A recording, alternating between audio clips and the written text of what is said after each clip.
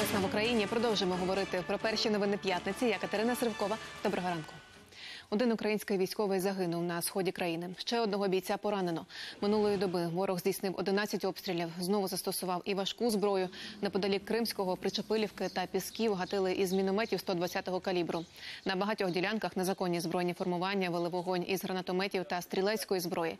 Чотири ворожих атаки зафіксували вже сьогодні. Зокрема, біля Невельського противник вдарив із артилерії. У Нідерландах напередодні відбулося слухання у справі MH17. Серед іншого суд відхилив клопотання захисту про допит американського розвідника, який сформував звіт про катастрофу. Не підтримав і прохання адвокатів заслухати російських експертів про їхнє розслідування трагедії. Наступне засідання відбудеться 6 вересня. Тоді слово матимуть родичі загиблих. Нагадаю, літак рейсу MH17 збили в небі над окупованою Донеччиною у липні 2014 року. Загинули всі 298 людей на борту. Міжнародна слідча група з'ясувала, у літак влучили з установки БУК, що належить 53-й бригаді з Курська Російської Федерації.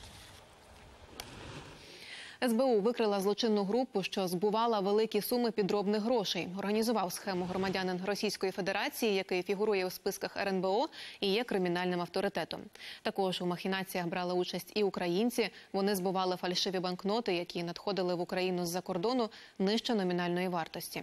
Співробітники СБУ затримали організатора та одного з учасників угруповання. Слідчі ДБР викрили шахрайську схему з приватизації понад 120 гектарів землі в Івано-Франківській області. Злочинці виділяли наділи на підставних осіб і використовували гектари на власний розсуд. Під фіктивну приватизацію потрапила територія лісового та природно-заповідного фонду. Під час обшуку виявили комп'ютерну техніку та електронні носії інформації, що підтверджують злочинну діяльність. Встановлено, що посадовці Держгеокадастру у змові з керівниками приватних проєктних організацій впродовж 2019-2021 років приймали незаконні рішення щодо відділення та приватизації земельних ділянок поруч із шістьма населеними пунктами У Чорногорії затримали українських водіїв туристичного автобуса. Одного з них запідозрили у перевезенні фальшивих грошей. Зупинили автобус на кордоні з Албанією. Як розповів речник українського МЗС, завдяки зусиллям дипломатів 32 туристи змогли продовжити мандрівку. Водія та його напарника затримали. Приїхали в гори святкувати випускний, а потрапили в лікарню. На Прикарпатті чергове масове отруєння. Госпіталізували 12 підлітків та одного дорослого. Усі вони з Коростеня Житомирської області. Відпочивали в одному з комплексів у курортному Миколичині. Чим могли отруїтися і як почуваються, дізнавалася Жанна Дочак. Аби згадка була на все життя. Таку важливу подію, як закінчення школи, випускники міста Коростеня вирішили відсвяткувати по-особливому. Всі гуртом два десятки дітей та п'ятеро дорослих орендували автобус і поїхали в Карпати. Для відпочинку обрали комплекс в селі Миколичин. Прибули сюди в понеділок. А вже в середу дітям раптово стало зле. Один за одним їх почали забирати в Яремчанську міську лікарню. Взагалом на приймальний покій звернулося коло 17 осіб. Діти мали одинакові симптоми. У всіх була блювота, болі в животі, піднялася температура, виражена в'ялість. Чотирьом прописали амбулаторне лікування і виписали, а решту залишили в інфекційному відділенні. На сьогоднішній день стан дітей стабільний. Керівники групи, які приїхали, вони хочуть забирати дітей. Вони замовили окремий автобус. Говорити на камеру постраждалі відмовилися. Ні, ми не будемо давати інтерв'ю. Чому? Тому що ми не хочемо. Чим і де могли отруїтися? Фахівці Держпродспоживслужби розпочали епідрозслідування. Кажуть, за ці два дні діти харчувалися і власними продуктами, і стравами у відпочинковому комплексі. Даний заклад не мав е, посвідчення на як оператор ринку обігу харчових продуктів і не мав права харчувати відпочивальників. Е, Працівники не мали особових медичних книжок. Дорослі, які супроводжували дітей, були зобов'язані проконтролювати, що саме їли діти, кажуть фахівці. Адже багато продуктів ті привезли із собою, зокрема м'ясо. Без холодильника заготовка простояла щонайменше 7 годин в автобусі і ще добу в закладі. Утім, остаточні висновки має дати експертиза. Водночас Держпродспоживслужба взялася активно перевіряти заклади відпочинку на місцевих курортах. За останній тиждень перевірили 20 таких об'єктів і майже в третині виявили порушення. Жанна Дучак, Зноя Автонас, новини, телеканал Інтер, Івано-Франківська область. Поліція перевіряє атракціони у курорті Кирилівці на Азовському узбережжі. Кілька днів тому на тамтешньому пляжі працівника надувної гірки уразило струмом. Чоловік помер на місці до приїзду швидкої. Пізніше з'ясували, дозволу на роботу атракціону не було. Хто тепер відповідатиме, дізнавався Сергій Бордюжа. Кирилівка – центральний пляж. Нині тут тільки розмов про інцидент, що шокував відпочивальників. Его три врача откачивали, не откачали. Очевидці кажуть, що вчора тут стояла надувна гірка. Чоловік, який її обслуговував, намагався увімкнути в розетку електричний компресор, щоб підкачати атракціон. Да, он полез в мокрый в штанах, полез в розетку и что-то включал, какой-то насос. И его убило вот так сразу. Серед тих, хто намагався на пляжі врятувати молодого чоловіка, був і Павло з родиною. А я сидела там на стульчике, что-то такой хлопок услышала. Говорю, Паша, смотри, парню надо помочь. Он подошел, его дернул по плечу.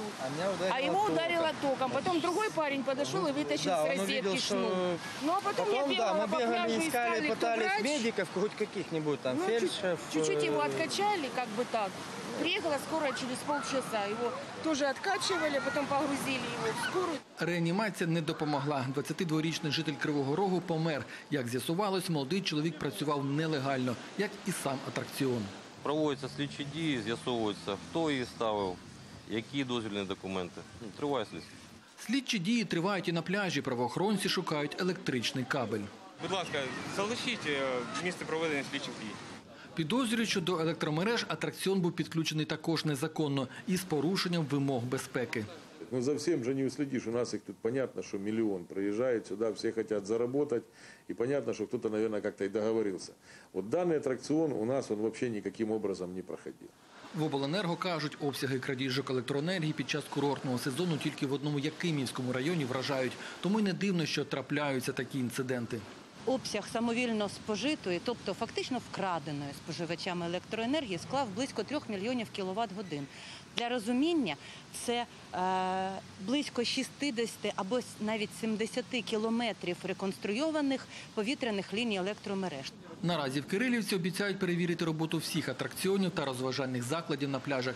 Втім, уже більше половина з них після смертельного інциденту тут зачинені або не працюють.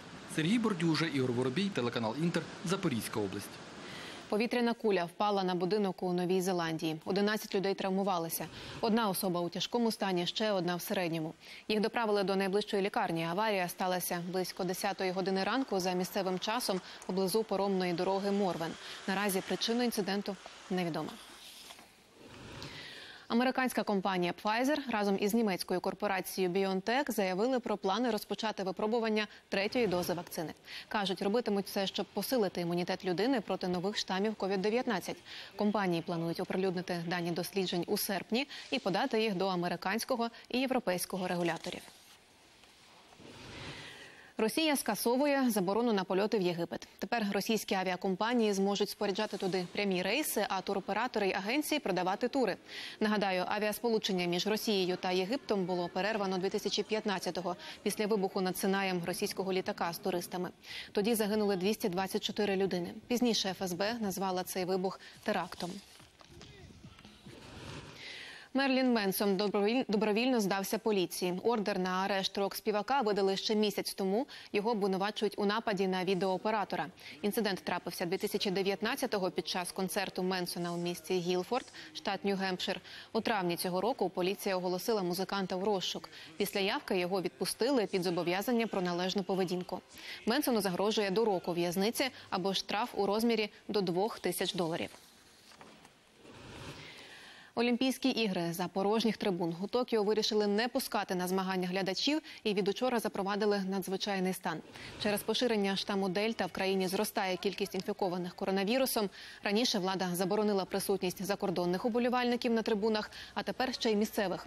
До Японії напередодні прибув голова міжнародного олімпійського комітету Томас Бах. Ігри стартують за два тижні. І на цьому поки що все. Наступний випуск буде о 9 Тоді побачимось.